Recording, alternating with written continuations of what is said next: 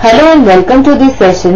In this session, we are going to discuss the following question and the question says that a hospital is interested in finding out whether the people are aware of child vaccination. They distributed 500 questionnaires to people living in the town, identify the sample and determine the population from which it was selected we know that population is the entire group of people or objects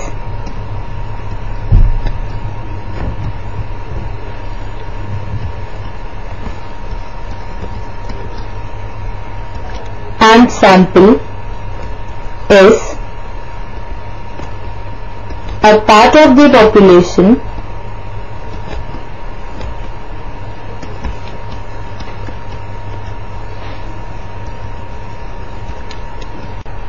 With this key idea, let us proceed to the solution.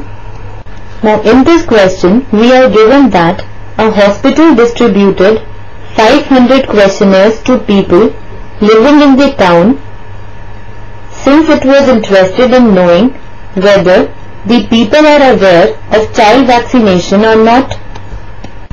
And from the key idea we know that Population is the entire group of people or objects and sample is a part of the population. So here the population is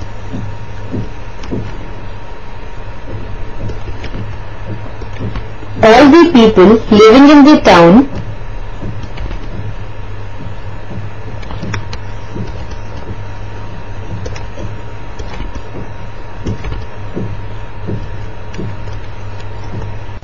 and the sample is the 500 people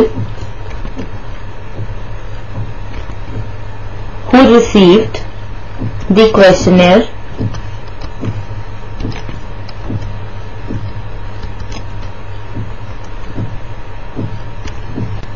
So we got the population as all the people in the town and the sample is 500 people who received the questionnaire.